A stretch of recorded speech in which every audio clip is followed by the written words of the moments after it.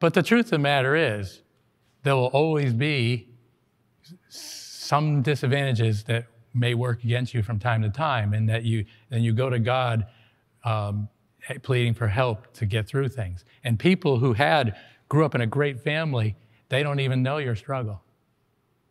But God will get you through, because uh, there's a Bible promise that says, "When your mother and father forsake you, God says, I will pick you up." All right, so um, let's go to um, the sixth commandment Thou shalt not kill. It's um, negative, very clear. All right, what's the positive principle? Love requires a deep respect for and embracement of the quality and sacredness of life. This commandment says value life everywhere. Anybody, anything. You see, the sixth commandment, thou shalt not kill, is based on the law of upholding the sacredness of life. When one doesn't value the life of others, it has a reciprocal effect. Those who kill often get hunted down and killed by other vile individuals. That's the street gang stuff. But it's not limited to that. That's just where it's the most intense.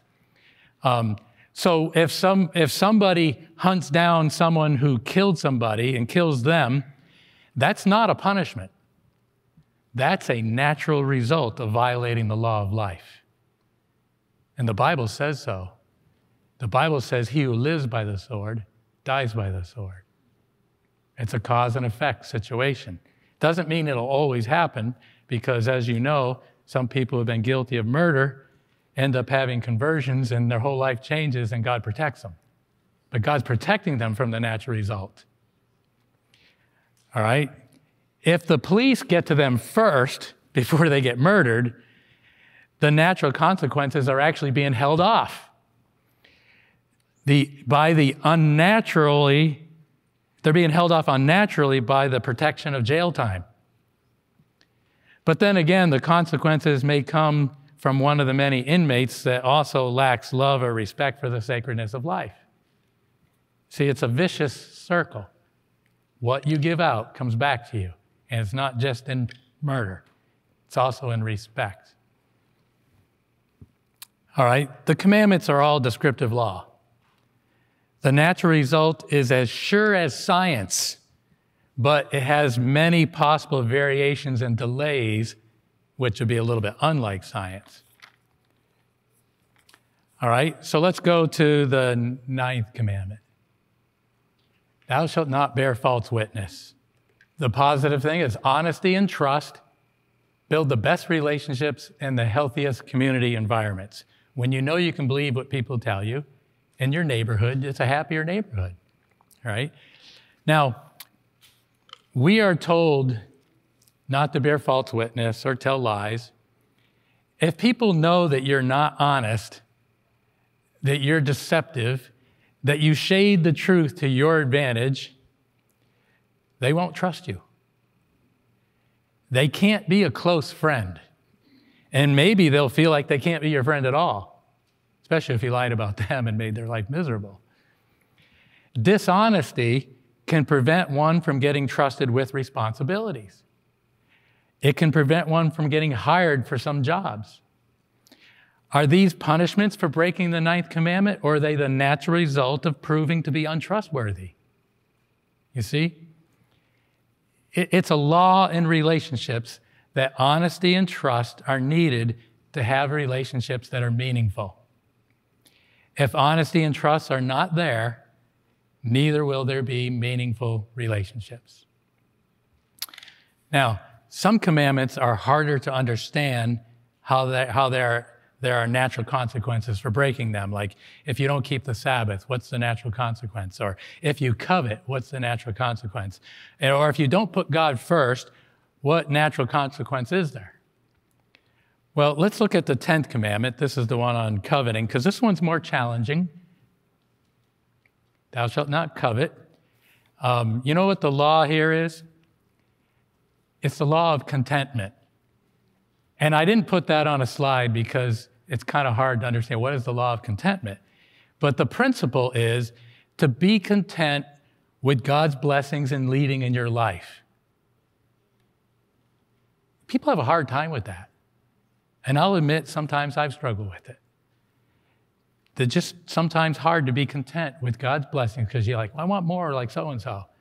Or with God's leading. Oh, I want God to lead me that way. And a lot of people, they're, they're more than willing to do God's will as long as He listens to their input. See, that's right there revealing that there's a lack of contentment to really just trust God's will. All right, so let's look at the. Uh, so the, the principle is a law of contentment, and this is the cause and effect. Don't hurt relationships by putting material or reputational gain above people. People are more important than these things. So, a covetous person hurts his or, own, his or her own relationships. But this one takes longer than most of the others. It can take a lot of time and it can be harder to discern. But it's just as true as the others, even though it's a little more difficult to see. All right, so we've dealt with the six commandments about protecting relationships with other people. Uh, now let's go to how God protects our relationship with Him you know, the relationship between you and God and me and myself and God. And that's in the first, the 3 to 11 verses of Exodus 20. So, the first commandment, thou shalt have no other gods before me. Huh. All right, let's see what I got for what this means. You have no other gods before me. That means, as the originator of life, God is the only one worthy of worship. God deserves our priority attention, trust, and allegiance. And the bottom line is because no one can love and care for us as He does. Nobody can take care of you or me like Him, not even close within a million miles. Nobody. And because He's our Creator, because He's our Redeemer. So, you know, it's helpful to focus on the good results of obeying this law and then consider what you would be missing without it. Okay? So, with commandment number one, if you really put God first, it is your privilege to have a wonderful relationship with Him, the one who gave you your life to begin with. Putting something before God naturally hurts the relationship incredibly beyond our understanding. See, this is one that runs really deep and we don't always see it so well, but it's way beyond understanding how much it hurts if we don't put Him first. Not only is there a great loss of peace, a loss of blessing, a loss of fulfillment, a loss of deep, real happiness, but in the light of the great controversy, it will ultimately be fatal. Not as a punishment, but as a result of not learning to be in that protecting faith relationship with the only one who can keep us from being deceived and destroyed by the devil. He's there to protect us from an enemy. And if we don't make him first, it limits him and it gives the devil more freedom to cause havoc in our lives. That's pretty serious. All right, let's go to the, the second commandment. Thou shalt not make or bow to any graven image. okay, what's the principle? This one is um, harder to state the principle in a completely positive term, but you'll see reducing God to a thing or an object diminishes his personhood. It destroys the possibility of a healthy relationship. If you can see God as an image, as an idol, um, or as some other material good. Uh, what kind of relationship can you have with an object? It's not a person anymore. All right, so let's go to uh, the third commandment Thou shalt not take the name of the Lord thy God in vain. You know, these are very negative, but very clear. Um, so, what's, what's the positive side of this? We cannot fully respect or appreciate one of whom we speak lightly or misrepresent in our manner. So you know you can take God's name in vain two ways in your language and in your actions. You know, like when you profess to be a Christian, but your actions kind of tell a different story, that's taking God's name in vain because you say you're a Christian. But it's in vain that you say that when you don't act like one, right? Makes sense. So uh, you're not, you can't really fully respect God when you take his name in vain, whether it be in your actions or in your words. All right, so let's go to um, the fourth commandment.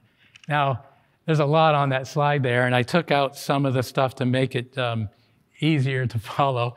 But remember the Sabbath day. Whoa, what do you notice different about that one right away? All the others start, thou shalt not. This one actually starts with positive language. Remember the Sabbath day to keep it holy. Six days shalt thou labor. And then I skipped down to but on the seventh day, thou shalt not do any work. So there's the negative to make it clear. For in six days the Lord made the heaven and the earth and rested the seventh day. Wherefore the Lord blessed the Sabbath day and hallowed it. All right, so what is the positive view of this? All right, the simple, simple truth is relationships are built in time. The Sabbath is about time, committing time to God. But there's more to it than just time. The Sabbath is the sign of God's creative power and authority over all the universe. Did you notice none of the other commandments had anything like that? The Sabbath is the sign of who He is the Creator, the author of life. And the amazing thing about it is, since we started out talking about relationships, the Sabbath is about your relationship with God, it, it takes it much deeper, and you say, wait a minute, this is a relationship of the created, the creature, to his creator, this relationship is the most vital of all relationships. And it kind of goes back to the first commandment Thou shalt have no other gods before me, because you're putting all your trust for everything in your life in your creator. And the Sabbath is about, it's a sign of who is God's people, it's a sign of sanctification. So when we understand the blessing of the fourth commandment, the Sabbath, we know a great blessing in our experience with God. Breaking the Sabbath affects our relationship with our Creator in a way that robs us of the blessing. You know, I just wish we would talk to people in more positive terms about the Sabbath instead of, you know, you're breaking it, you're breaking God's law, you're going to get the mark of the beast. Well, yeah, they do need to get that idea, but wouldn't it be good if we talked more about what they're missing? In fact, I, I knew a um, pastor can't remember what denomination he was. He was a Sunday keeping pastor. And somebody shared the Sabbath with him in a way that kept making him wondering, what am I missing? What am I missing? And that kept working on him until he studied his way into it. And when I met him, he was a Seventh day Adventist. But it was thinking of what he was missing, not what might get him with the mark of the beast, that won him over. So, you know, I mean, even the world is recognizing the need of a day of rest, a day to be free of the daily demands and routines. Uh, Midwestern Regional Medical Center in Zion, Illinois, published a flyer. This is a hospital, published a flyer on the benefits to physical and emotional health of taking a weekly day of rest. Now, they didn't specify which day, but a writer for Self magazine some years ago wrote this the Sabbath is set apart from routine so that the delights of being alive can be savored. Have you ever thought of the Sabbath that way? And then, so the delights of being alive can be savored without the distractions of noisy demands, jobs, money, and all the strivings of ego. And then she wrote, The Sabbath stands for liberation, being made free. I thought, wow. And this person isn't even Seventh day Adventist. So, all of the Ten Commandments are descriptive laws that are designed to protect relationships. It's not so easy to see them scientifically, but nevertheless, they are as true as science the science of relationships. Angels see them as clear as one plus one equals two. Now, health laws are more easily seen as scientific because of the direct effect on our bodies, okay? You know, God's commandments are to protect us because He loves us. So even our health laws, which are so easily viewed as restrictions, can't eat this, don't eat that, they're so easily viewed as restrictions. Our restrictions are really blessings from God. God originally gave man a vegetarian diet in the Garden of Eden, and the godly prophet Daniel and his companions were known for their vegetarian diet, which led them to score 10 times higher at others than others at examination time. Now, it's true that after the flood, God allowed meat to be in the diet of his people, but he wisely forbade them to eat the higher risk meats, such as pig and shellfish. So, does obeying God's dietary guidelines pay off in the here and now? You know, if we don't want to listen to God, He doesn't have to punish us. He keeps trying to get us to change for our own benefit. If we want to follow Him, if we if we won't follow him, we really just punish ourselves. And it'll come out in our bodies. Because we're fighting the reality of scientific law, just like fighting gravity. Saturday Evening Post, I don't know if that even gets published anymore, um, but there was an article in the Saturday Evening Post published quite a few years ago and it reported at that time that Seventh day Adventist Christians have a life expectancy that is 8.9 years longer than the average. And, you know, the person wrote, I don't know how we can dismiss God's advice when it helps us live longer, feel better, and pay fewer medical bills. It's not really that hard. But it crosses us, so yeah, it's, it's hard that way. So, how do you see God? What is your picture of God? I want you to open your Bibles to 1 John 5.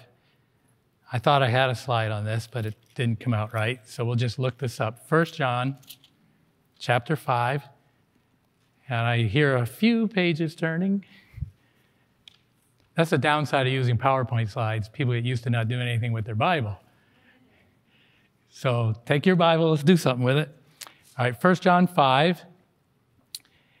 And before I tell you what verse, I'm going to ask you this question Do you have a picture of the true God in your understanding or a false image of God? And so, here at the end of the Epistle of John, verse 20, John writes, And we know that the Son of God is come and hath given us an understanding that we may know him that is true. And we are in him that is true even in his Son, Jesus Christ. This is the true God in eternal life. And then verse 21 sets a contrast. Little children, keep yourselves from idols. And some Bible translations say, keep yourselves from false gods. And then it becomes more clear that verse 20 is making a contrast between who the true God is that was revealed to us in Jesus Christ and don't go for these false gods. All right, so now I, I have a, a, very short but very potent uh, Spirit of Prophecy statement from the Review and Herald, December 8, 1908. It says, Thousands have a false concept of God and his attributes. They are as verily serving a false God as were the servants of Baal. She's saying that there are people who, in their brains, are worshiping the Christian God but their view of the Christian God is so false. She says, they're as verily serving a false God as were the servants of Baal. So here's a question. This is going to look like a multiple choice. Which satanic method is the most effective? You know, if, if the devil wants to deceive, um, is the idol gods of pagan religions, you know, Baal and Molech and Ashtaroth and, um, you know, Mar- Marduk. Um, you know, are these false gods and the pagan religions the best method Satan has to deceive you? Probably not, right? We look at this as the ancient superstitions, but there, there are some people that that type of stuff still works with. All right? But what about possessions, fame, ideas, opinions, or power? You know, when we say possessions, we're talking about materialism, We're in a very materialistic culture, and people sometimes uh, make those things their God. You know, they put that, you know, anything you put before, before God Himself, you've made a God before Him. And could be a, a house you just have to have, or a car, or some really cool technology that puts you ahead of your friends. And, or, or it could be fame. I, I, want, I want to be known as um, or it could be ideas and opinions. You know, in our secular uh, humanistic society, some of those sec- secular humanistic ideas, that's, their, that's those people's God. They put it above everything. And, uh, or power, to get, to get power, like over other people. Um, or, or false pictures of the Christian God, like we've been saying here. When you think God is arbitrary and a dictator, and he's you got to do what he says, or he's going to roast and toast you in hell. And you know that's a false picture of the Christian God. So, which satanic uh, satanic method is most effective? I think it depends on the culture you're in and what your personal tendencies are. Because in our culture, uh, C, um, B and C are both very effective the devil constantly distracts us with our want of things and having to have things or the want of our reputation. And at the same time, he's working on us to not see God correctly. So, you know, and, and here's the thing. You know, there's another, I haven't talked about this, but there's another false picture of the Christian God that's very popular. Um, some people find it really disgusting to see God as arbitrary and a dictator. And so they want to turn God into the softy that will never do anything. And they even say, you know, you don't have to keep his law. He changed it. It, it, it isn't relevant anymore.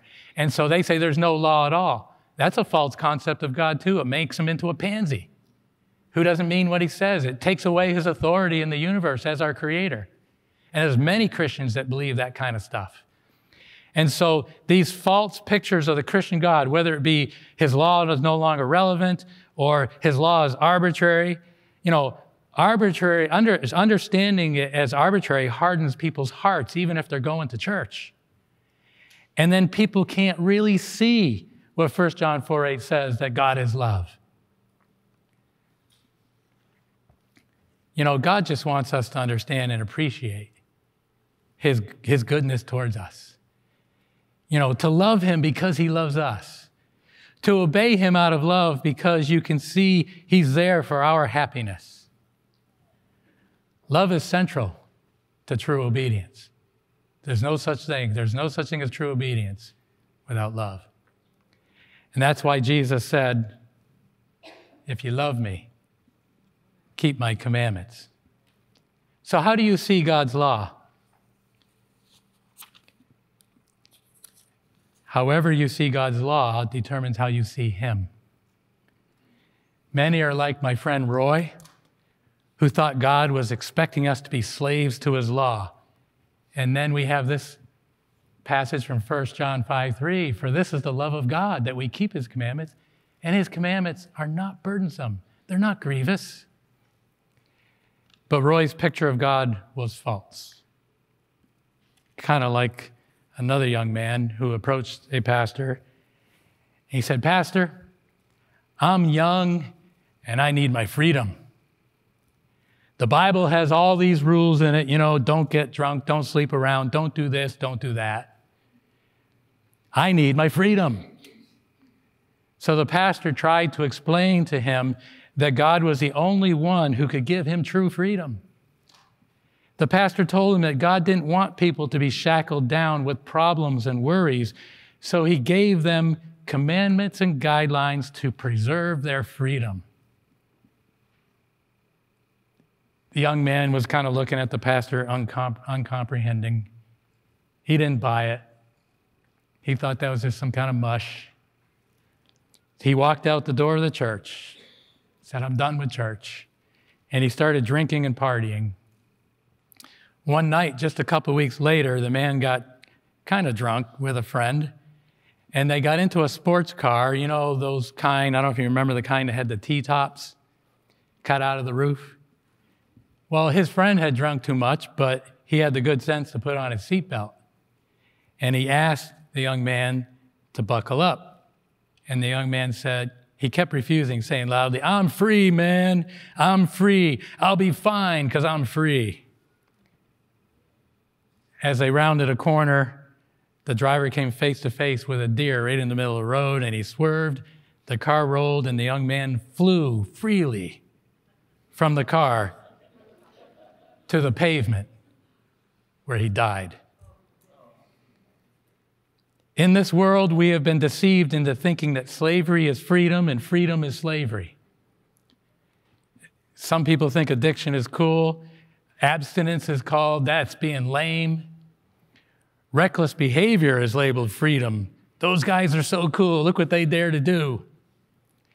Remember the free love of the 60s, those of you that are old enough?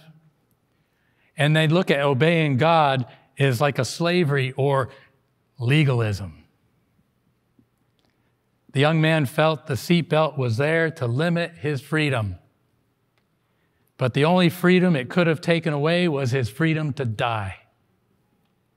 Instead, the young man died, never being able to fully grow up, to fall in love, and to enjoy his freedom in life. This is why the Bible calls God's commandments the law of liberty in James. You see, the law of God is like a fence in a family's yard. You know, when you, you have little children uh, playing, running free on the lawn, it's very dangerous if there's no fence. But with a fence there, they can run around free on the yard in the grass without having to worry about the danger street just beyond the property line. And that's why David sang praise songs, and we noted in Psalm 119 last week a number of places, about loving God's law and finding freedom walking in his, in his precepts. And Jesus said in John 8 32, and you shall know the truth, and the truth will make you free. You see, friends, God is for freedom, real freedom. In a sense, He is simply calling all of us to fasten our seatbelts and follow His word as the roadmap to freedom. What do you think? Do you believe him? Famous proverb says, Trust in the Lord with all thine heart, and lean not into, unto thine own understanding. In all thy ways acknowledge him, and he shall direct thy paths. Do you believe him? It'll be a life and death issue pretty soon.